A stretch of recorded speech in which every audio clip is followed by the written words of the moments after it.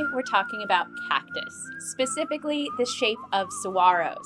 Why do they have arms? Why do they grow the way that they do? To find the answer, I went to the Phoenix Botanical Garden. They've got more than a thousand saguaro cactuses, and it turns out a lot of people that are also willing to give us their best saguaro impressions.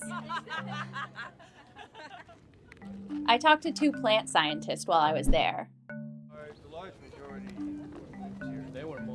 Saguaros are among the tallest cactus in the world, and that's partly because they grow really, really slowly.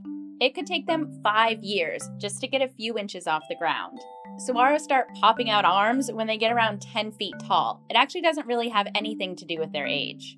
Some might go an entire lifetime without getting a single arm. These arms store a ton of water. Any guesses how much water is probably being stored in that arm?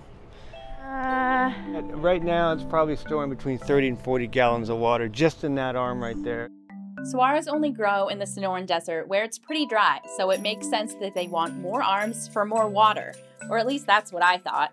That's part of it, but when you think about it, the goal of producing all these arms is to produce more flowers.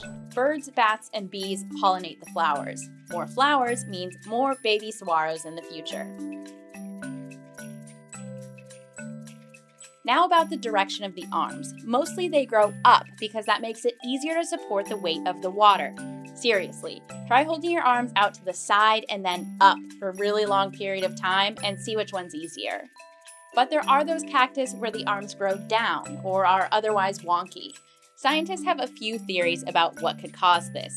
One is that a hard frost could damage the fibers in the arms so they weaken and droop. How do we prove it? How do we test that? That that is the other the next question. Bottom line, in the plant world, not everything happens for a reason, or maybe we just haven't learned that reason yet. A special thanks to Carol Gibson who sent us this fascinating question through Q&AZ. You can submit your own question online at qaz.kjzz.org.